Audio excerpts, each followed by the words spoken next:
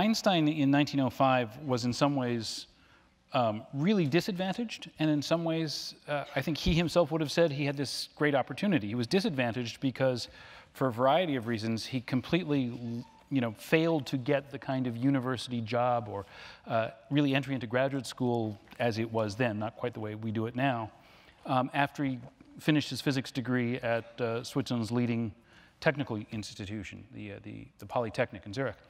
And he just, he alienated his professors, he didn't bother paying attention to things he wasn't interested in, all that, you know, the kind of student you would expect Einstein to be. So he didn't get any help from him when he graduated, and he was in the wilderness. He taught algebra to, to uh, high school students for a while. In, that must have gone really well. Can you imagine being, can you imagine being Einstein's, you know, saying, I, I couldn't figure out a quadratic equation under Einstein's tutelage? It would be very embarrassing.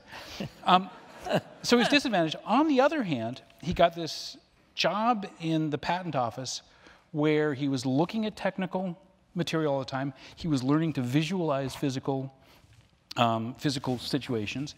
And he had, um, partly because he didn't really, he wasn't really a great family man, he spent really a lot of time, even though he's married and had a young son, he had great freedom to just think. And I believe that, that one of the things you see in Einstein after he gets a patent office job and really starts settling into being a sort of grown up, um, he really starts developing the, the, characteristic he would have for the rest of his life, which was this extraordinary ability to focus no matter what was going on around him.